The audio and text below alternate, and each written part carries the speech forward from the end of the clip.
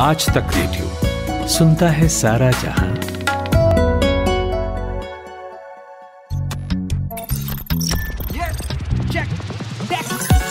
दुनिया में you take समाया, इंसानों का टेक है साया टेक ही साथी टेक सहारे, सारे संकट उससे हारे। सारी तरक्की जड़ में है, गाँव से हर घर घर में है। टेक है सबसे पावरफुल टेक नहीं तो सब हेल्पफुल टेक ही साधन टेक उपाय कोई नहीं तो टेक सहाय। कर ले जाके चेक सबका मालिक टेक कर ले जाके चेक सबका मालिक टेक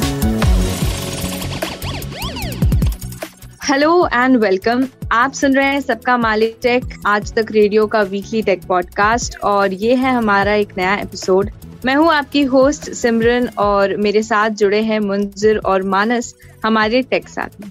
तो हम सभी ने हिस्ट्री बुक्स में वॉर्स के बारे में पढ़ा है और कन्फ्लिक्ट्स के बारे में सुना भी है कि किस तरह से देशों के बीच वॉर्स छिड़ जाती थी और जिस वजह से काफ़ी सारे जाने भी जाती थी। और जब हमें लगा कि हम अब उन सारी चीज़ों से आगे बढ़ चुके हैं and war has been a thing of past क्योंकि अभी भी कई सारे देशों में डिफरेंसेस होती हैं लेकिन चीज़ें बातों से सुलझ जाती हैं। जैसे uh, इंडिया और चाइना या पाकिस्तान के बीच में भी डिफरेंसेस रही हैं uh, पिछले दो तीन सालों में लेकिन सारी चीज़ें जो हैं वो टेबल पर बात करने से सुलझ जाती है। अब हर देश के पास ही परमाणु हथियार है सब कुछ है लेकिन मुझे नहीं लगता था कि कभी वॉर की स्थिति आएगी। पर अब माहौल ऐसा बन गया है कि दो बड़े देश, यानी रशिया और यूक्रेन, वॉर की सिचुएशन में आ चुके हैं। और पिछले चार पाँच दिनों से वहाँ पर जो तनाव चल रही है, जो सिचुएशन बन गया है, वो काफ़ी कंसर्निंग है। वहाँ के लोगों के लिए ही नहीं सिर्फ़, बल्कि हमारे लिए भी। क्योंकि एक तो यूक्रेन के जो सिटीजन है, वो डर के माहौल में जी रहे हैं, साथ ही वहाँ पर loss of life economy infrastructure सब कुछ हो रहा है। जैसा हमने सुना भी था और आपने हिस्ट्री बुक में पढ़ा भी होगा कि जो फ़र्स्ट वर्ल्ड वॉर है, वो वेपन्स पर लड़ी गई थी। जो सेकेंड वर्ल्ड वॉर हुई, वो न्यूक्लियर वेपन्स पर लड़ी गई। और हमेशा ये कहा जाता था कि अगर थर्ड वर्ल्ड वॉर कभी हुआ तो तो वो साइबर वॉर होगा या टेक्नोलॉजी पर बेस्ड होगा। तो आज इस पॉडकास्ट में हम यही समझने की कोशिश करेंगे कि इस पूरी सिचुएशन में यानी अभी जो चल रही है सिचुएशन उस पूरी सिचुएशन में टेक्नोलॉजी का क्या रोल है और क्या इम्पैक्ट पड़ सकता है टेक इंडस्ट्री पर? तो uh, सबसे पहले मुंजिर आपने क्या कभी सोचा था कि 2022 में with all these education and history lesson behind us हमें ऐसा देखने को मिलेगा कि दो देश वॉर की सिचुएशन जाएँगे आ, नहीं मैंने तो नहीं सोचा था और ज़्यादातर लोगों ने नहीं सोचा होगा क्योंकि अभी जितनी बड़ी बड़ी बातें होती हैं हर जगह और आ, सारे कंट्रीज़ हैं यूनाइटेड नेशंस हैं और बहुत सारी चीज़ें हैं तो फुल फ्लेजेड वॉर ये एक वाकई काफ़ी सैड है ये देखना कि 2022 में अभी हम्म। दुनिया कोरोना से कायदे से निकल भी नहीं पाई है और इतनी जाने गई हैं और अचानक से फिर, अचानक से क्या मतलब चीज़ें चल रही थी बट हाँ फुल फ्लेजेड वॉर छिड़ चुका है और खैर वॉर पे तो बातें चल ही रही हैं हर जगह। बट हाँ तुम्हारे सवाल का जो जवाब है वो यही है मेरे लिए भी मतलब मेरा भी मानना है कि 2022 में इनफैक्ट अभी तो वॉर नहीं होनी चाहिए थी। हो सकता है कुछ डिले कर लेते थोड़े दिन के लिए, क्योंकि इंसान को थोड़ा बफर टाइम तो मिलता, क्योंकि इतनी डेथ ऑलरेडी हुई है, दुनिया भर में हुई है यूक्रेन में भी हुई है रशिया में भी हुई है। इंडिया में हुई है। बट खैर ये सब तो सोचा नहीं गया और वॉर तो शुरू हो चुकी है और चल रही कि पैंडेमिक खुद में ही काफ़ी अनफॉर्चुनेट सिचुएशन था। तो इसमें अब एक वॉर की सिचुएशन तो ऐसा लग रहा है ना कि एक के बाद एक जो होता है ना मुसीबत हर जगह से आ रही है। तो वैसा ही सिचुएशन बन चुका है। खैर मानस जो पहले दिन ही वॉर के पहले दिन ही हमने देखा था कि स्टॉक मार्केट में एक बड़ा झटका आया। लोग कह रहे थे कि स्टॉक मार्केट में ब्लड बाथ छा चुका है। तो उसी तरह का क्या विजिबल झटका टेक इंडस्ट्री पर भी पड़ा है? इमिडिएटली तो मतलब ये नहीं कहूँगा कि मैं झटका ऑलरेडी पड़ गया है, लेकिन ऑफ़ कोर्स जब इस तरह का वॉर सिचुएशन बनता है, जब दो कंट्रीज़ आमने सामने आती हैं तो इम्पैक्ट अक्रॉस इंडस्ट्रीज़ आपको देखने को मिलेगा। ये नहीं हो सकता कि इम्पैक्ट नहीं देखने को मिलेगा। और Ukraine being one of those countries because ये भी एक चीज़ हमें समझनी पड़ेगी कि यहाँ पर इस सिचुएशन में यूक्रेन के लिए इकोनॉमिक इंफ्रास्ट्रक्चर लॉस ज़्यादा देखने को मिलेगा as compare to Russia of course Russia के जो डिप्लोमेटिक रिलेशन है, बहुत सारी कंट्रीज़ से वो खराब हो सकते हैं। ऑलरेडी हम सुन रहे हैं काफ़ी सारे सैंक्शन लग रहे हैं उनके ऊपर। उनको बहुत सारी चीज़ों से बैन भी किया गया है। यूरोपियन कंट्री स्पेशली जो है काफ़ी स्ट्रिक्ट सैंक्शन लगा रही हैं। बट यूक्रेन के लिए loss in terms of economy infrastructure जिसमें मैं टेक इंफ्रास्ट्रक्चर भी काउंट कर रहा हूँ, ज़्यादा देखने को मिलेगा। और यूक्रेन जो है ना यूक्रेन का जिस the way their economy is right now technology उसमें बहुत इंपॉर्टेंट रोल प्ले करती है। ऐसी टेक्नोलॉजी बहुत सारे लोगों को लगता है कि टेक का मतलब सिर्फ़ प्रोडक्ट्स हो गया स्मार्टफ़ोन हो गया सेमीकंडक्टर्स हो गया, नहीं बट टेक इसके आगे भी जाती है एंड आज की डेट में जितने भी स्टार्टअप्स हैं, जितने भी एंटरप्राइजेज हैं सब में टेक्नोलॉजी का एक बहुत इंपॉर्टेंट रोल होता है। और यूक्रेन की टेक इंडस्ट्री उसकी तीसरी सबसे बड़ी इंडस्ट्री यानी इकोनॉमी में एक मेजर पार्ट जो है उनकी टेक इंडस्ट्री प्ले करती है। और एक स्टार्टअप हब की तरह यूक्रेन बनना चाह रहा था, काफ़ी ज़्यादा प्लान्स थे उसके स्टार्टअप इकोसिस्टम को ग्रो करने के। और वहाँ के जितने भी स्टार्टअप्स थे, वो सब कहीं ना कहीं टेक्नोलॉजी ड्रिवन थे। और मतलब इंडिया में भी है, ये there is no rocket science behind it आज की डेट में आप इंडिया में भी देख लो हर एक स्टार्टअप के आगे वो फाइनेंस स्टार्टअप नहीं है, वो फिनटेक स्टार्टअप है एजुकेशन स्टार्टअप नहीं है एडटेक स्टार्टअप है. इनफैक्ट मीडिया में भी टेक्नोलॉजी बहुत यूज़ होती है हेल्थ केयर में भी बहुत यूज़ होती है. तो वहाँ के लिए वो जो इकोसिस्टम था यूक्रेन के लिए वो बहुत ज़्यादा इंपॉर्टेंट था. और जो ये टेक कम्युनिटी है, वो डेफिनेटली इससे काफ़ी ज़्यादा तरीके से हिट होगी because see there is a chance कि हो सकता है कल को अभी भी बातचीत के थ्रू कोई रास्ता निकल आए, हफ़्ते दस दिन के इस एजुकेशन के बाद ये जो पूरा मसला है, पूरा प्रॉब्लम है, वो सॉल्व हो जाए, वो और रुक जाए, नहीं, वो सिचुएशन इस तरह खराब। लेकिन जो लॉस उसमें होगा ना, इन दस दिन में या पंद्रह दिन में जो लॉस होगा, उससे रिकवर करने के लिए इंडस्ट्री को इंडिविजुअल्स को सालों साल लग जाएँगे, और ये हमने पहले भी देखा है। तो उस लिहाज से डेफिनेटली कहीं ना कहीं जो टेक इंडस्ट्री है, वो हिट ज़रूर होगी। तो मानस, आपने बिल्कुल सही कहा कि टेक इंडस्ट्री जो है यूक्रेन की इकोनॉमी में थर्ड पोजीशन होल्डर है और वहाँ पर बहुत सारे स्टार्टअप्स भी बिल्डअप हुए हैं। जैसे ग्रामरली जो कि राइटिंग्स और कम्युनिकेशंस के लिए मोस्ट यूज़ एप्लीकेशन है। दुनिया भर में हर कोई उसका यूज़ करता है। उसकी जो जड़ है, यानी उसका जो बेस है, वो भी यूक्रेन रहा है। हालाँकि उसकी जो स्टाफ है, दुनिया भर में मौजूद है। लेकिन एक असर तो पड़ेगा ही ना, क्योंकि उसके रूट्स तो यूक्रेन में बेस्ड है।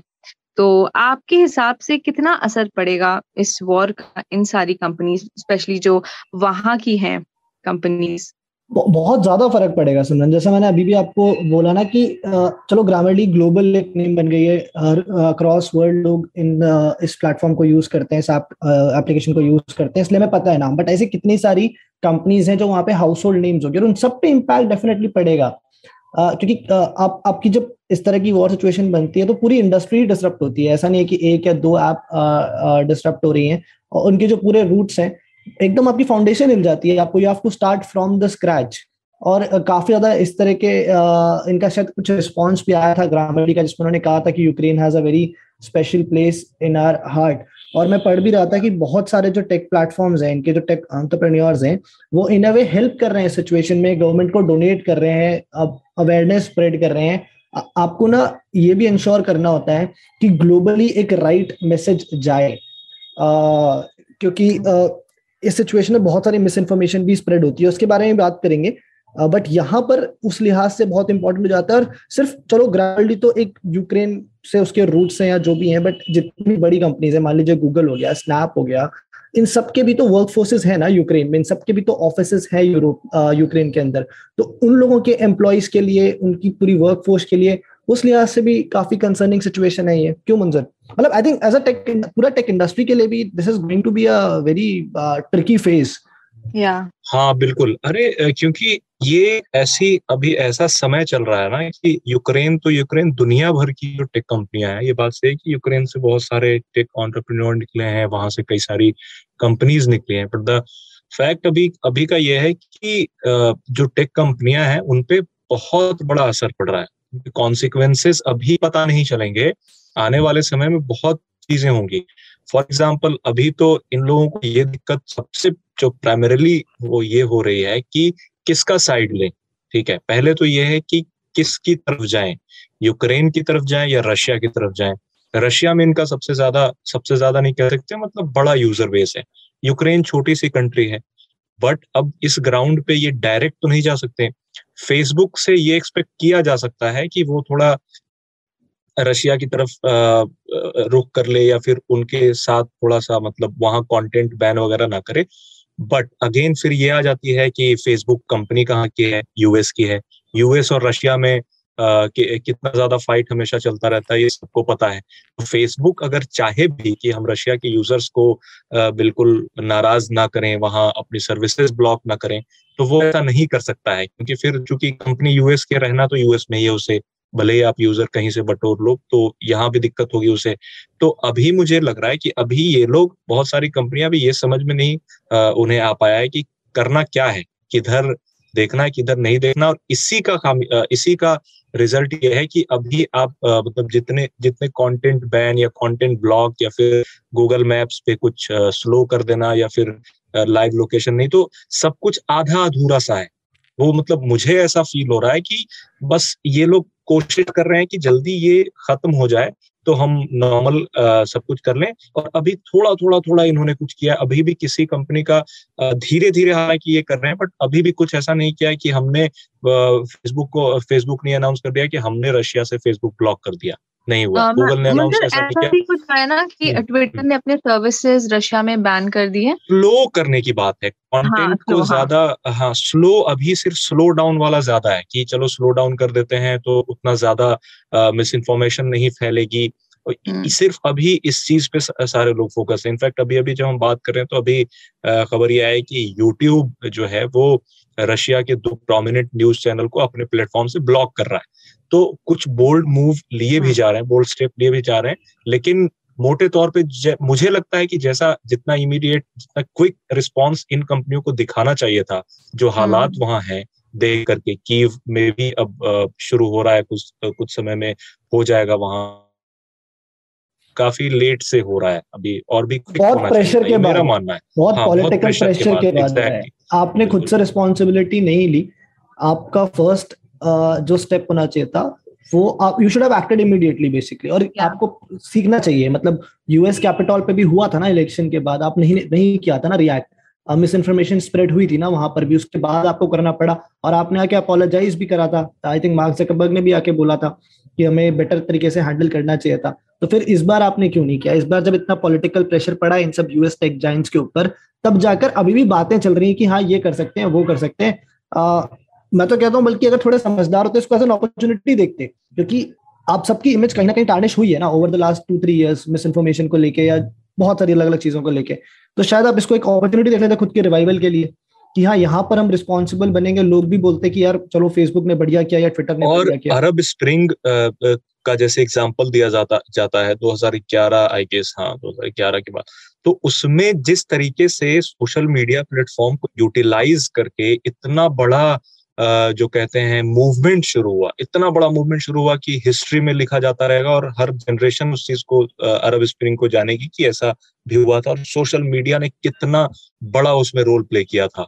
तो उस उस चीज़ को रिपीट करने का मौका था इनके पास कि यूक्रेन पे रशिया ने अटैक कर दिया है फुल फ्लेजेड वॉर छिड़ चुकी है 2022 में और आप डिजिटल स्पेस पे एक तरह से आपकी मोनोपली है दो तीन कंपनियों की मोनोपली है तो आप चाहते तो इस जो अटैक इसको कई बेसिस पे बेसिकली जो डिजिटल स्पेस में जितने मिस इन्फॉर्मेशन फैलाए जा रहे हैं या फिर जिस तरीके से मूवमेंट चल रहा है तो इत, इसकी नौबत नहीं आती कि यूक्रेन बैठ करके आईटी आर्मी बना रहा होता ठीक है? वो भी यूक्रेन भी जब आईटी आर्मी बना रहा है तो उसका भी टारगेट यह है कि पहली चीज़ तो कि रशियन वेबसाइट को हैक करना और ये सब करना ये तो उनका अपना है। ठीक है, ये मैं नहीं कह रहा कि टेक कंपनी को करना चाहिए था बट जो जो यूक्रेन ने आईटी आर्मी करके बनाई है, उसका ये भी काम है कि जितने मिस इन्फॉर्मेशन फैल रहे हैं, उसको भी रोकना, ठीक है। तो कम से कम आप being social media giant tech giant आप ये तो कर सकते हो कि नहीं, अगर ऐसा हुआ तो इस ग्राउंड पे हम सर्विसेज़ ब्लॉक कर देंगे, ठीक है, या फिर हम यूक्रेन के लोगों की मदद करेंगे किसी भी तरीके से। फॉर एग्ज़ाम्पल अभी स्टारलिंग कल परसों उन्होंने एलॉन मस्क से मदद मांगी थी और भेज दिया उन्होंने स्टारलिंग भेज दिया। मतलब उसका जो टर्मिनल है एलॉन मस्क हाँ। ने एक दिन में ही उन्होंने क्विक रिस्पॉन्स दिखाया और भेज दिया। हालाँकि खुद से नहीं किया उन्हें मदद मांगनी पड़ी बट फिर भी क्विक रिस्पॉन्स हुआ। एक दिन में वहाँ टर्मिनल चले गए हैं और वहाँ एक्टिव हो गई हैं सर्विसेज़ बेसिकली तो इस तरह की चीज़ें होनी चाहिए। लॉन मस्क ने जो एग्ज़ाम्पल सेट किया वैसा और भी लोगों को करना चाहिए बट अनफॉर्चुनेटली ऐसा नहीं हो रहा है। हाँ रिस्पॉन्सिवनेस का जो एग्ज़ाम्पल uh, उन्होंने सेट किया मैं वही बोलने वाली थी जब आप बोल रहे थे कि इन्हें रैपिडली कुछ एक्शन लेना चाहिए क्योंकि जिस जैसे ही वहाँ के वाइस प्रेसिडेंट ने इलन मस्क से मदद मांगी तो उन्होंने कोई देरी नहीं दिखाई और तुरंत वहाँ पर स्टारलिंग की जो सर्विसेज़ है वो आ, मतलब चालू कर दी तो हाँ, टर्मिनल्स भेज दिए उन्होंने बेसिकली हाँ. उन्होंने टर्मिनल्स भेज दिए और चूँकि उनकी सैटेलाइट तो देखो ऐसा है कि सैटेलाइट तो खैर ऑल ओवर अपना कवर कर ही लेगा बट जो टर्मिनल जो यूज़ करने की इक्विपमेंट होते हैं ना, वो भेज दिए वहाँ तो अब यूज़ किया जा सकेगा वहाँ आराम से और लोगों की मदद मिलेगी तो वाकई एक बड़ा अच्छा स्टेप है इनका। जी बिल्कुल। और आ, मानस अभी मैं एक रिपोर्ट पढ़ रही थी जहाँ पर ये बताया भी जा रहा था कि इलेक्ट्रॉनिक अप्लायंसेस जैसे कि एसी रेफ्रिजरेटर जिसकी ज़रूरत हमें सबसे ज़्यादा गर्मियों में पड़ती है आ, उनके प्राइसेस में अच्छी खासी हाइक भी देखने को मिलेगी क्योंकि रॉ मटेरियल्स और क्रूड ऑयल की जो प्राइसेस है ऑलरेडी बहुत तेज़ी से बढ़ रही है।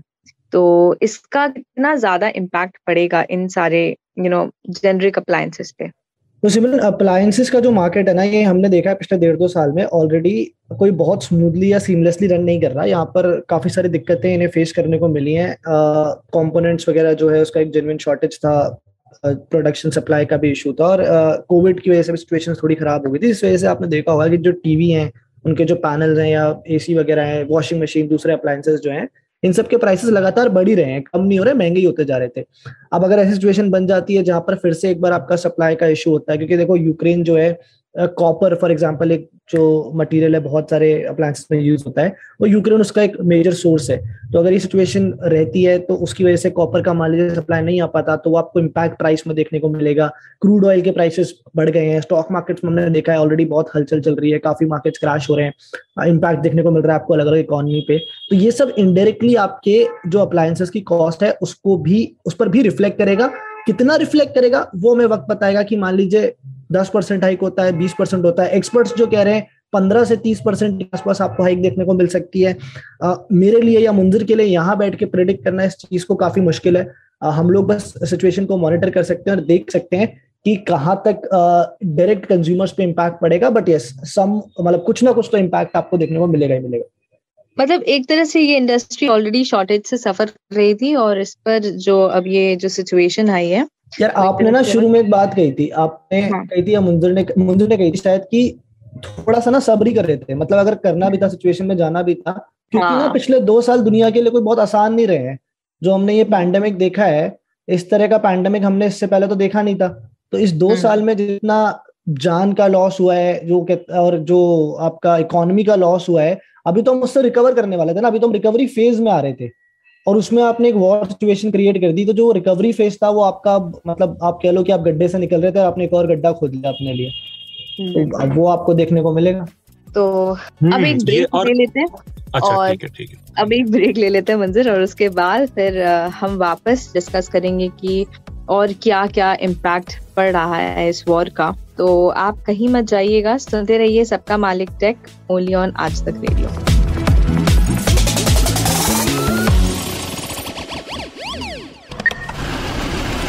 कमाते हैं लेकिन बचा नहीं पाते। बचाते हैं तो उससे कमा नहीं पाते। शेयर की चाल, निवेश का हाल। बाज़ार का तमाशा, इकोनॉमी की भाषा, बॉन्ड, बीमा, सोना, चांदी, सबकी होती है बात। बचाते रहो नारे के साथ। हर शनिवार नितिन ठाकुर के साथ कीजिए मुलाकात अपने मनी मैनेजर से। मेरे पास ना काम बहुत है। और आँखें मेरी हमेशा ऑक्यूपाइड रहती हैं। ऑफ़िस में स्क्रीन देखो ड्राइव करते हुए सड़क देखो, फिर घर आकर खाना बनाओ, पर कान मेरे फ्री रहते हैं। इन कान से भी मैं बहुत काम करती हूँ। मास्क टिकाती हूँ, चश्मा लगाती हूँ और सुनती हूँ आज तक रेडियो क्योंकि पॉडकास्ट की बात ही अलग है। आप भी सुनकर देखो आज तक रेडियो सुनता है सारा जहाँ। स्वागत है आपका ब्रेक के बाद। आप सुन रहे हैं सबका मालिक चेक और मैं हूँ आपकी होस्ट सिमरन। तो आज के इस एपिसोड में हम बात कर रहे हैं कि किस तरह जो यूक्रेन और रशिया के बीच जो सिचुएशन आ गई है, उसका टेक इंडस्ट्री पर क्या असर पड़ेगा। तो मुंजिर, ना सिर्फ़ ऐप कंपनीज़ पर असर पड़ेगा बट कहीं ना कहीं मुझे लगता है कि स्मार्टफ़ोन इंडस्ट्री जो है, वो भी तो इससे हिट होगी। क्यों? हम्म। बिल्कुल और बहुत बहुत ही बुरा होने वाला है। अभी जो वॉर चल रही है ना इसका कॉन्सिक्वेंसेस स्मार्टफ़ोन इंडस्ट्री या फिर एंटायर जो जो इंडस्ट्री जो चिप पे डिपेंडेंट है। जैसे ऑटो हो गया या फिर अब एक बार तो हमने पॉडकास्ट भी चिप शॉर्टेज पे किया ही था तो उसमें हमने काफ़ी डिटेल से बताया था कि चिप कहाँ कहाँ लगाया जाता है। एक धारणा होती है ना कि चिप स्मार्टफ़ोन में ही लगाया जाता है बट डेली की समझ लो कि मेरी ज़िंदगी में तो नाइन्टी परसेंट जो चीज़ें होती हैं लाइफ में उसमें चिप लगा हुआ होता है। सो so, कहने का मतलब ये है कि यूक्रेन में नियॉन सबसे ज़्यादा बनाए जाते हैं नियोन गैस जो होता है। और नियोन गैस जो होता है वो सेमी कंडक्टर चिपसेट बनाने के लिए बहुत अहम रोल प्ले करता है। अब समस्या ये है कि यूक्रेन अंडर अटैक है यूक्रेन पे अटैक हो रहा है वॉर चल रहा है यूक्रेन की हालत खराब है तो क्या होगा? कॉन्सिक्वेंसेस क्लियर हैं। अब ऐसा नहीं है कि यूक्रेन ही सिर्फ़ नियोन गैस बनाता है दूसरे को नहीं बना लेकिन उनके पास एक्सपर्ट्स हैं एक्सपर्टीज है उनके पास उनके पास पूरा इंफ्रास्ट्रक्चर है। तो ऑनगोइंग प्रोडक्शन को रोक दिया गया है। अभी तो फ़िलहाल मतलब हॉल्ट पे कर दिया गया है बट मुझे लगता है कि जिस तरह की स्थिति बनी हुई है, आगे जाकर के कब वर्किंग होगा या फिर पता नहीं वो रहे ना रहे तो क्लियर नहीं इस वजह से चिप शॉर्टेज ऑलरेडी है, अभी भी है पेंडेमिक की वजह से हुई थी, और अब जब ये हो रहा है तो उसके बाद अब आगे देखोगे पूरी तरीके से खेल बदल जाएगा। इस वजह से कई टेक कंपनियों ने, कई स्मार्टफ़ोन मेकर्स ने कई बड़े डिसीज़न लिए हुए हैं जो कि अभी पब्लिक नहीं हुए हैं। इम्बारगोड आप कह सकते हैं, जो आगे अगले एक दो महीने में हम टेक पॉडकास्ट के ज़रिए या फिर अपनी स्टोरीज के ज़रिए बताएँगे कि कंपनियों ने क्या क्या डिसीज़न लिए क्योंकि अभी उन्हें भी पता चल रहा है ना कि क्या हो रहा है दुनिया में। चिप शॉर्टेज ऑलरेडी चल रही थी तो मैं चूँकि स्मार्टफ़ोन के बारे में ज़्यादा बढ़िया जानता हूँ इस वजह से बता रहा हूँ स्मार्टफ़ोन के बारे में अदरवाइज़ जो लोग हमारा पॉडकास्ट सुन रहे हैं, वो ये भी एंटिसिपेट कर सकते हैं कि न सिर्फ़ स्मार्टफ़ोन बल्कि जो अभी मैं बता रहा था कि चिप वाली जितनी चीज़ें हैं कार हो गई या फिर घर पे रखे रखा हुआ फ्रिज हो गया कूलर हो गया एसी हो गया या फिर स्मार्ट डिवाइस जितने सारे हैं चिप तो सब में ही लगता है। तो या ये काफ़ी बड़ी दिक्कत आने वाली है। और ये सिर्फ़ अभी तो ना यूक्रेन के पॉइंट ऑफ़ व्यू सोच रहे हैं। अभी तो हम बात करें हम्म। कि यूक्रेन पे कब्जा हो जाएगा यूक्रेन की इंडस्ट्री हिट हो जाएगी। अभी ना हमें रशिया के पॉइंट ऑफ़ व्यू सोचना पड़ेगा। रशिया भी कोई छोटा कंट्री नहीं है उनकी इंडस्ट्रीज़ भी बहुत बड़ी बड़ी है। और रशिया में क्योंकि सैंक्शन आप अगर लगा दोगे तो उसके बाद वो वाला जो इम्पैक्ट होगा वो भी झेलना पड़ेगा वर्ल्ड हाँ एग्जैक्टली बिल्कुल बिल्कुल। अगर आप इम्पोर्ट एक्सपोर्ट बंद कर दोगे अभी आप अगर कह अगर आपने बोला कल क्योंकि यूएस कंपनीज़ पे इतना प्रेशर जो बन रहा है ऑलरेडी कि मान लो आप उनको चिप ना दो या वहाँ पे आप अपने फ़ोन मत बेचो या कुछ कुछ भी किस तरह का बैन लगाते हो तो सामने से भी रिएक्शन आएगा एक। और वो भी आपको फिर इम्पैक्ट देखने को मिलेगा और उसमें भी the world will be divided because you have to pick sides बहुत सारे देश ऐसे हैं जिन्हें एक साइड पकड़नी पड़ेगी। और फिर वहाँ पे बहुत सारी चीज़ें फंसेंगी। तो पॉलिटिकल जो एंगल है इसके, वो भी मतलब ये अब सिर्फ़ एक टेक डिस्कशन या सिर्फ़ एक मिलिट्री डिस्कशन नहीं है से बहुत सारी डिप्लोमेसी बहुत सारा ब्यूरोक्रेसी है। काफ़ी सारी चीज़ें मतलब जो है ना, उसके बाद एक्चुअल में पता चलेगा कि कहाँ तक इम्पैक्ट देखने को मिलता है। मानस, अगर हम इंडिया की भी बात करें तो भारत बड़ा कंज्यूमर है मोबाइल फोन्स का। तो यहाँ पर भी तो मुझे लगता है कि जैसा मुंजर ने कहा कि चिप शॉर्टेज वगैरह होगी तो मुझे लगता है प्राइसेस तो और भी ज़्यादा बढ़ जाएँगे मोबाइल फोन्स के। मतलब टू अर्ली टू प्रिडिक्ट मतलब टू अर्ली टू स्पेक्यूलेट की प्राइसेस एकदम से बढ़ जाएँगे। हाँ लेकिन जो मुंजर सिचुएशन की बात कर रहा है, अगर वहाँ तक चीज़ें जाती हैं तो definitely it's not like ऐसा नहीं होगा कि चाइना में फ़ोन सस्ते बिक रहे होंगे यूएस में सस्ते बिक रहे होंगे इंडिया में महँगे हो जाएँगे। या फिर इंडिया में महँगे हो जाए इंडिया में सस्ते बिक रहे होंगे चाइना में महँगे हो जाएँगे। अगर वो होगा तो वो अक्रॉस इंडस्ट्रीज़ पूरे अक्रॉस द ग्लोब आपको देखने को मिलेगा कि इम्पैक्ट पड़ेगा। हाँ ये हो सकता है कि मान लो चाइना में सौ रुपए महँगे हुए इंडिया में डेढ़ सौ महँगे हो गए। कितना इम्पैक्ट है वो फ़र्क अलग हो सकता है। लेकिन अगर इम्पैक्ट पड़ा तो अक्रॉस कंट्री सेम ही पड़ेगा। तो ऐसा कुछ नहीं है कि इंडिया इंडियन मार्केट पे स्पेसिफिकली आपको कोई अलग इम्पैक्ट यहाँ पे देखने को मिल जाएगा। और एनी वे अगेन आप देख लो यार स्मार्टफोन्स तो इस साल भी लॉन्च हो रहे हैं। खासकर जो बजट स्मार्टफोन्स है हमारी स्मार्टफ़ोन इंडस्ट्री भी थोड़ी हिट तो हुई है। अब वो सस्ते फोन्स जो 2019 में 18 19 में पंद्रह हज़ार के मतलब अगर आप प्राइस टू वैल्यू परफॉर्मेंस वाला कुछ कंपैरिजन करके देखोगे तो अब जो पंद्रह हज़ार के फ़ोन आ रहे हैं ना उनमें आपको वो वाले फीचर्स एनीवे नहीं मिलते हैं। तो कहीं ना कहीं इम्पैक्ट ऑलरेडी हुआ है और वो और मतलब ऑफकोर्स वैसी सिचुएशन होगी तो आप एक हद तक ही जो है डैमेज कंट्रोल कर सकते हो उसके बियॉन्ड तो आपको झेलना ही पड़ेगा जो भी है। लास्टली uh, मुंजिर यहाँ पर इस सिचुएशन में क्रिप्टो करेंसी की भी जो पेनिट्रेशन है वो देखने को मिली क्योंकि यूक्रेन उन नेशंस में से है जहाँ क्रिप्टो करेंसी की अडॉप्शन रेट काफ़ी हाई है और वहाँ पर अभी रिलीफ फंड्स जो है क्रिप्टो करेंसी में रेस किए जा रहे हैं। So which is a good thing आप आपके हिसाब से क्या है हम्म, हम्म, बिल्कुल सही है क्योंकि बीच में जो बैंकिंग सर्विस या फिर और सारी चीज़ें होती हैं तो जो डिसरप्शन वाली चीज़ है ना वो नहीं होगी। कम से कम उनका स्मूथली ट्रांजैक्शन होता रहेगा और ईज ऑफ़ बिज़नेस जो भी हो रहा है वहाँ वो होता रहेगा। तो मुझे लगता है क्रिप्टो करेंसी वे काफ़ी अच्छा वे है फ़िलहाल यूक्रेन के लिए। बट हाँ इस वजह से काफ़ी चीज़ें भी देखने को मिल रही है। माना क्रिप्टो करेंसी का, का मार्केट भी काफ़ी तेज़ी से कल परसों मैंने पढ़ा था कि काफ़ी नीचे से तेज़ी से गिर गया। सो ये भी हो रहा है। वो तो यार जैसा बोला ना कि अगर वॉर सिचुएशन बनेगी आपका स्टॉक हाँ, तो वो तो गिरेगा ही गिरेगा वो तो मार्केट का ही है बिल्कुल ये भी तो मार्केट से अलग थोड़ी है क्रिप्टो से बात। वॉर में जाने के लिए पैसा चाहिए पैसा कहाँ से आएगा? पैसा निकालोगे और लोगों की भी मतलब तो है सिचुएशन ऐसी बनती है कि फिर then investors also start pulling out जैसे ही मार्केट सेंटीमेंट नेगेटिव बनता है पूरा का पूरा फिर मार्केट क्रैश हो जाएगा। बट ये है कि एटलीस्ट चलो यहाँ पे हमने देखा पावर ऑफ़ क्रिप्टो करेंसी जो हमेशा बात करते रहते हैं और मुंजर मतलब बहुत बड़ा सपोर्टर हमेशा से रहा है ब्लॉकचेन और क्रिप्टो का।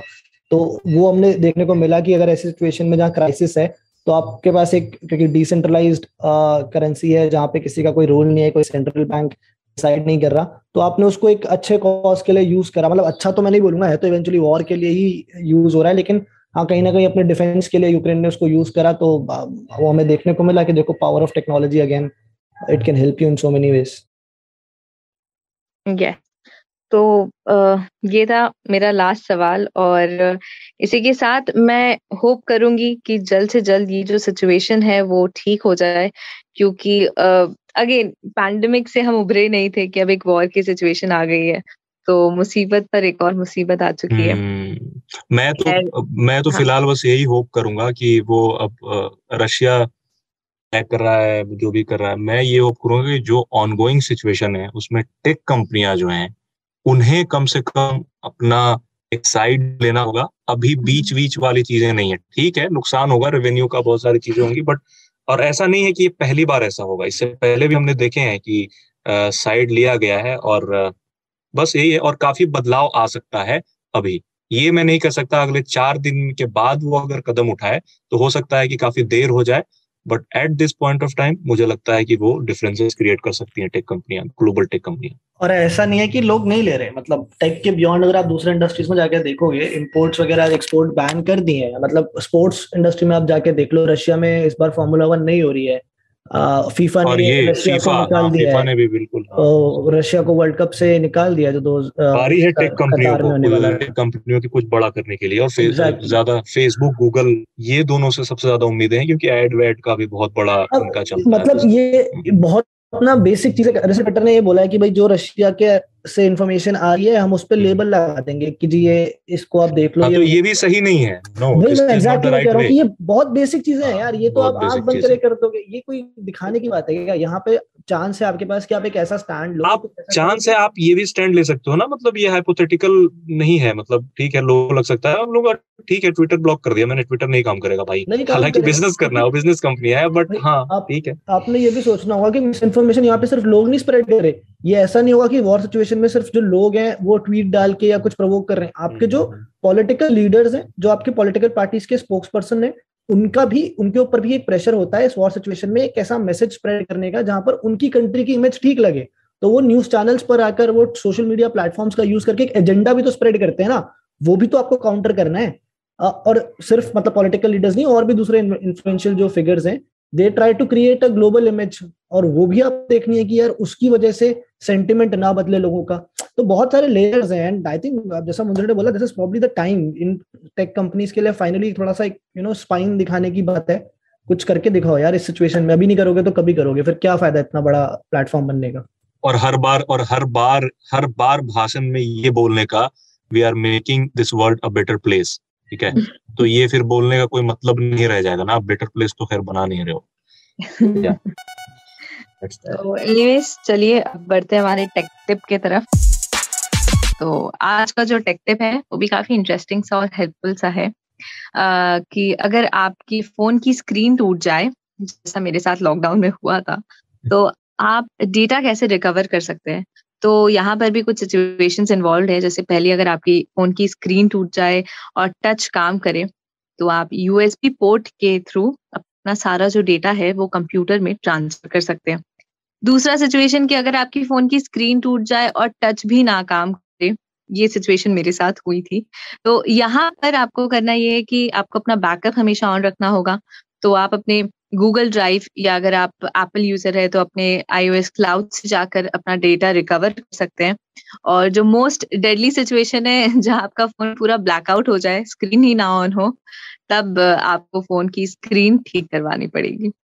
तो ये था आज का tech tip of the day और तुम्हारे साथ कैसा फ़ोन खत्म है मेरे साथ तो नहीं हुआ है। कभी मेरे ऐसा ब्लैक स्क्रीन या आई नहीं रहा डेटा वेटा कुछ नहीं हुआ ऐसा कभी नहीं हुआ। हम्म, लेकिन होता है ये समस्या मतलब मेरे कई जानने वालों के साथ हुई है। कभी कभी ऐसा हुआ है हाँ, मंजर की कोई फ़ोन रखे रखे ही मतलब बहुत टाइम हाँ, रखा रहा फिर जब चालू किया तो चला ही नहीं हुआ। हाँ हाँ बिल्कुल। रिव्यू के कई कई सारे फ़ोन ऐसे हुए हैं। कुछ की तो बैटरियाँ फूल जाती हैं। किस कुछ की बैटरियाँ फूल जाती हैं। को, कोई ऑन ही नहीं होता। अभी भी मेरे पास ऐसे कुछ फ़ोन है रिव्यू वाले। जो कंपैरिजन कर लिए करने के लिए मैंने उठाया और वो देखा स्टार्ट ही नहीं हो रहा तो होते होता है ये चीज़ बिल्कुल। डेटा कैसे रिकवर किया? डेटा को कुछ नहीं रिकवर किया क्योंकि वो ऐसे ही उसमें कुछ डेटा मैंने डाला ही नहीं था। हालाँकि डेटा तो उसका भी रिकवर हो ही जाता है मतलब अगर फ़ोन अपना हो तो उसका भी डेटा रिकवर किया जा सकता है जिसके बारे में हम कभी और बता देंगे। ओके देन तो आपको हमारा एपिसोड कैसा लगा वो हमें लिखकर ज़रूर बताइएगा रेडियो एट द रेट आज तक डॉट कॉम पे और आप हम ट्वीट भी कर सकते हैं हमारे ट्विटर हैंडल्स पे। So will meet you next time bye bye